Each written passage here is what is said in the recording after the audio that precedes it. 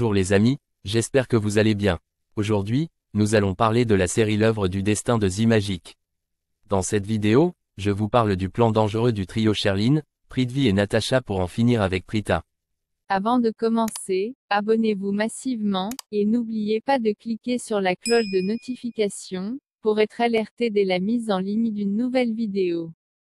Suivez-nous également sur les réseaux sociaux, les liens sont placés juste à la description, où vous pouvez taper Zimagic Info Plus ou Zimagic Actu dans la barre de recherche de YouTube, Instagram, TikTok, Facebook et Twitter pour nous suivre, et recevoir plus d'actualités sur les séries indiennes de Zimagic. On commence. Précédemment, on s'est arrêté au moment où Raki était heureuse de revoir Shrishti et elle a essayé de lui parler, mais celle-ci l'a ignoré.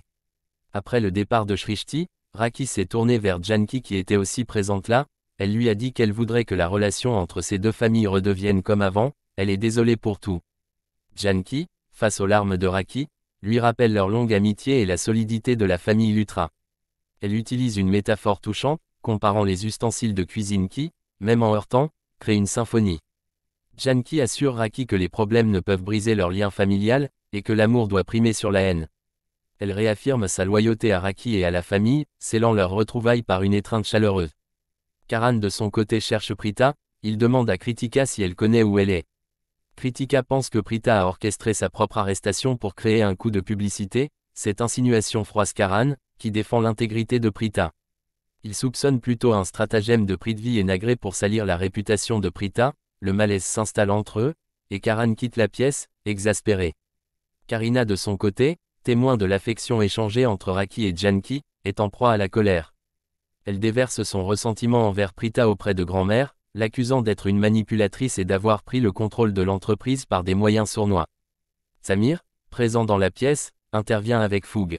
Il défend Prita avec ardeur, soulignant qu'elle a protégé la propriété des Loutras et évité sa saisie par Prithvi. Le ton monte entre lui et Karina, qui n'apprécie pas qu'il remette en cause son jugement. Grand-mère bannie, tout en reconnaissant la justesse des propos de Samir, calme le jeu en lui reprochant son manque de respect envers Karina. Sherline de son côté, impatiente et nerveuse face à la disparition de Prithvi, reçoit la visite d'un employé. Celui-ci lui annonce l'arrivée inattendue du maître du serpent. Cette information, confirmée par Natacha, relance la discussion sur le plan de Prithvi. Sherline explique, avec une admiration teintée d'inquiétude, le stratagème élaboré par Prithvi pour discréditer Mahesh Lutra et impressionner les investisseurs. Le plan repose sur la présentation d'un véritable serpent à Mahesh, provoquant une réaction de panique qui le ferait passer pour mentalement instable, seuls les investisseurs seraient témoins de cette scène, les dissuadant d'investir dans l'Empire Lutra et les orientant vers l'entreprise de Prithvi, mais un doute subsiste, l'absence de Rishab et Prithvi à la fête pourrait compromettre la mise en œuvre de ce plan audacieux.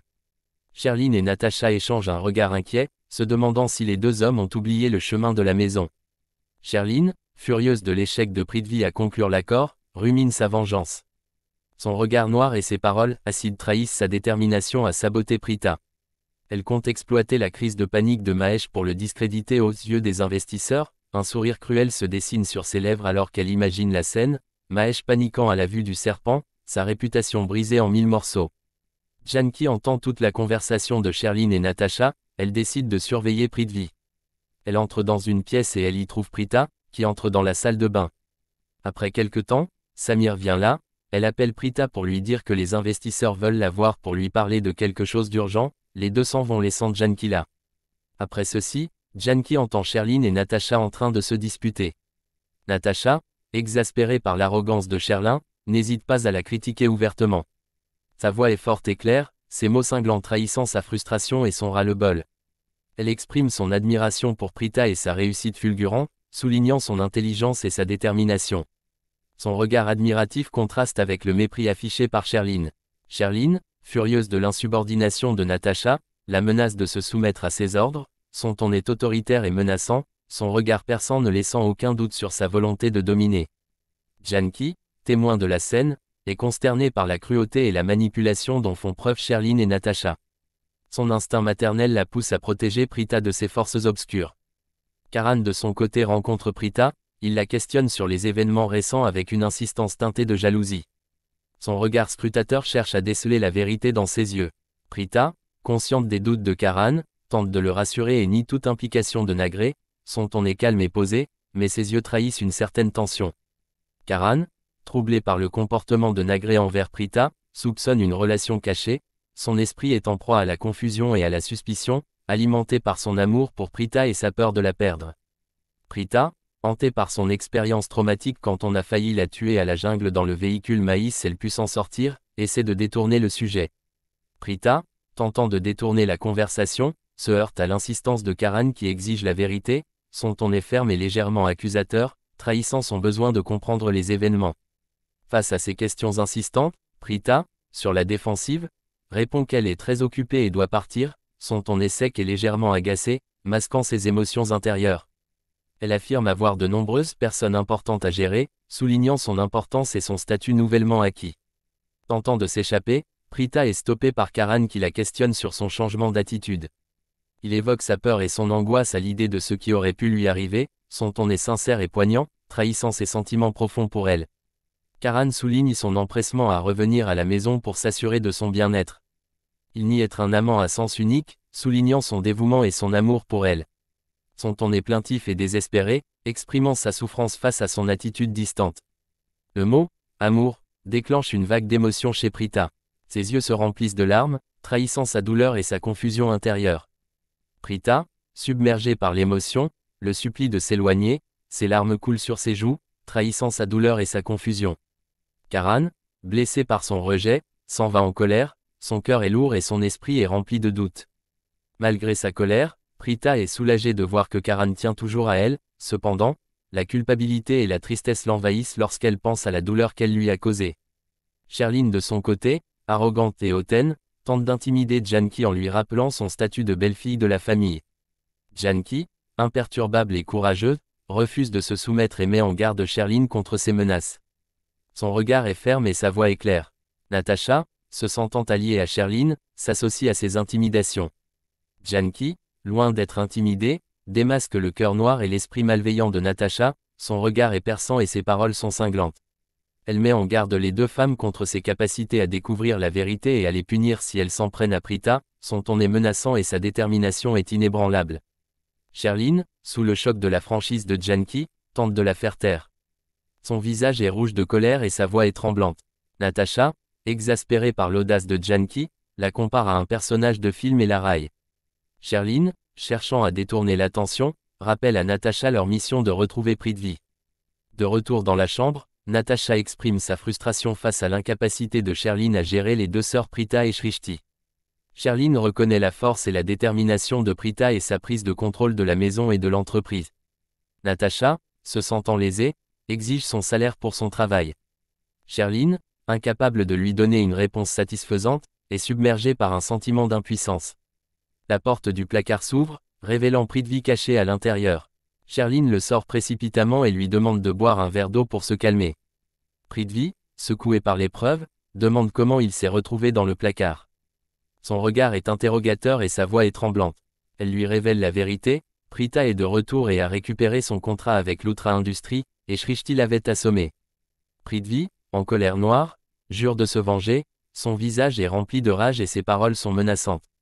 Il promet de ruiner la vie de Prita et affirme qu'un seul coup suffira, son regard est rempli de haine et sa détermination est inébranlable. Janki, à la recherche de Prita et Shrishti, se heurte accidentellement à Kritika. Kritika, s'excusant pour la collision, demande à Janki comment elle va.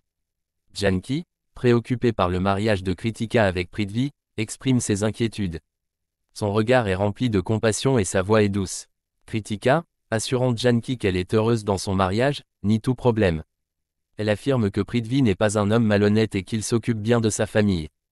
Janki, tentant de lui faire comprendre la vérité sur Prithvi, souligne ses erreurs passées. Kritika, l'interrompant, accuse Prita d'être manipulatrice et gourmande, son visage est dur et sa voix est accusatrice. Elle qualifie Prita de menteuse et affirme qu'elle a trompé tout le monde pour obtenir la propriété. Janki, choqué par les paroles de Kritika, la met en garde contre de tels propos. Kritika, s'excusant pour son langage, affirme ne pas vouloir dire de mal de Prita.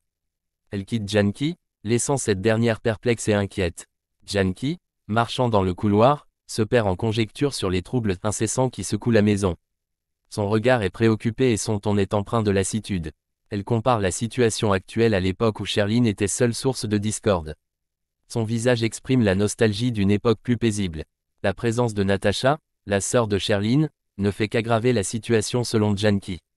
Convaincu que Sherline rencontre Prithvi en secret, Janki se demande si elle devrait informer Prita de ses soupçons. Son cœur est tiraillé entre le devoir et la loyauté.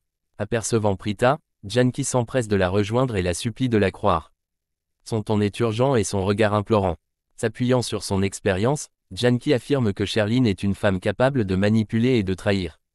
Elle rappelle à Prita que Sherline est la belle-fille aînée de la famille Lutra et qu'elle n'hésitera pas à nuire à quiconque pour obtenir ce qu'elle veut. Prita, consciente de la dangerosité de Sherline, reconnaît son statut de belle-fille aînée. Cependant, elle affirme avoir changé et ne plus être la femme naïve qu'elle était il y a deux ans. Son regard est ferme et sa voix est déterminée. Cette fois-ci, Prita est résolue à punir quiconque commet des erreurs et refuse de leur accorder une seconde chance. Prita assure Janki qu'elle a changé et ne se laissera plus manipuler. Son regard est déterminé et sa voix est ferme. Les épreuves qu'elle a traversées l'ont rendue plus forte et plus sage. Son visage est serein et sa voix est confiante. Sa nouvelle règle est simple, quiconque commet une erreur sera puni. Son ton est inflexible et sa volonté inébranlable. Janki félicite Prita pour sa transformation et la met en garde contre ses ennemis elle lui conseille de faire preuve de prudence face aux dangers qui la guettent. Prita affirme qu'elle n'est plus la femme passive qu'elle était autrefois. Elle est prête à se battre et à gagner la guerre qui a commencé dans sa maison. Sherline est stupéfaite par l'intensité du choc. Elle demande à Natacha ce qu'elle a fait, et Natacha répond que cela va humilier Prita et la faire redescendre sur terre. Sherline est tendue et se demande ce que Natacha prévoit de faire ensuite. Prithvi de son côté arrive à la fête et Nagré l'approche. Il lui demande comment il se sent et lui dit qu'ils doivent parler de ce qui s'est passé en son absence.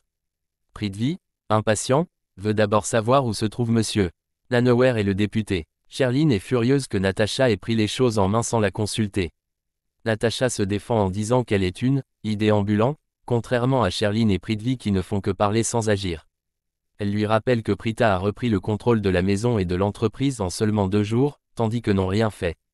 Sherline menace de résilier le contrat de Natacha et de la jeter hors de la maison. Natacha lui répond que seul Prithvi peut lui donner l'ordre de partir.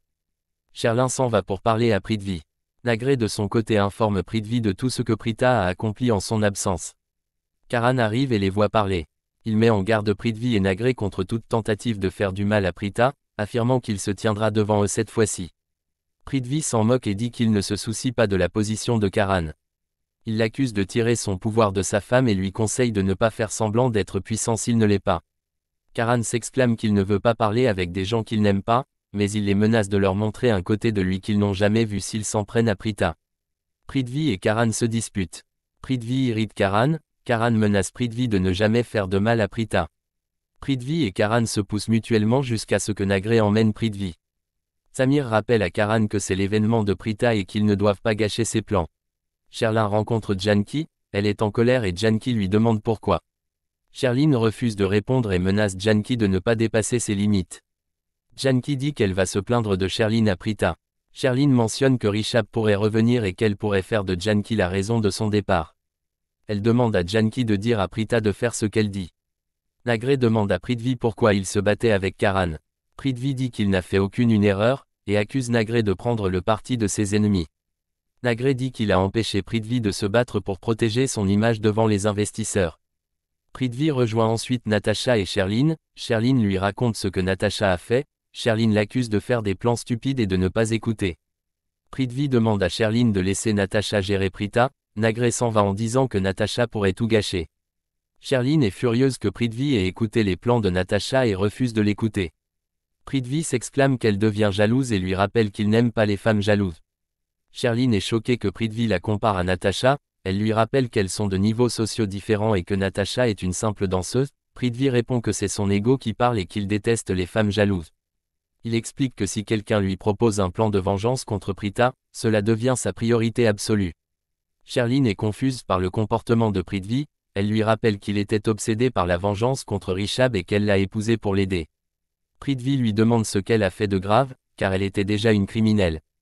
Sherline répond qu'elle n'était pas comme ça avant de le rencontrer, elle l'accuse d'être un égoïste qui tue les gens une fois qu'il n'a plus besoin d'eux. Prithvi, en colère, lui demande s'il l'a tué jusqu'à présent, Sherline est choquée par sa question. Sherline et Prithvi se disputent, Sherline menace Prithvi de le révéler à la famille Loutra s'il continue de la maltraiter. Prithvi la calme en lui rappelant qu'il a besoin d'elle pour se venger de Prita. Prithvi et Sherline sortent de la pièce et rencontrent Janki qui se tenait là pour écouter leur conversation. Prithvi l'insulte et la renvoie. Prithvi part ensuite parler avec Kritika dans une pièce, il en profite pour s'excuser de son comportement. Il la manipule en lui faisant croire qu'il est victime de la situation et lui demande de lui pardonner, Kritika n'est pas convaincue mais elle l'aime toujours et le serre dans ses bras. Prithvi se réjouit d'avoir manipulé Kritika, il lui fait promettre de ne pas se tenir aux côtés de Prita et elle accepte. Prithvi rencontre ensuite Monsieur Nanower et le député Saab. Il leur ment en disant qu'il était absent pour donner de l'argent à un employé, il se vante de son attitude envers ses employés et de sa capacité à les faire se sentir comme des propriétaires de l'entreprise. Prithvi informe que Prita a fait la présentation, mais qu'il y a un changement, le nom de l'entreprise est maintenant Malotra Industries. Monsieur Nanower remarque que Prithvi est nerveux et compare son état à celui d'une personne qui a perdu quelque chose, il loue Prita pour son intelligence et sa vision différente. Prithvi tente de les rassurer en disant qu'il peut augmenter leurs investissements, il les met en garde contre les femmes qui font des promesses qu'elles ne tiennent pas.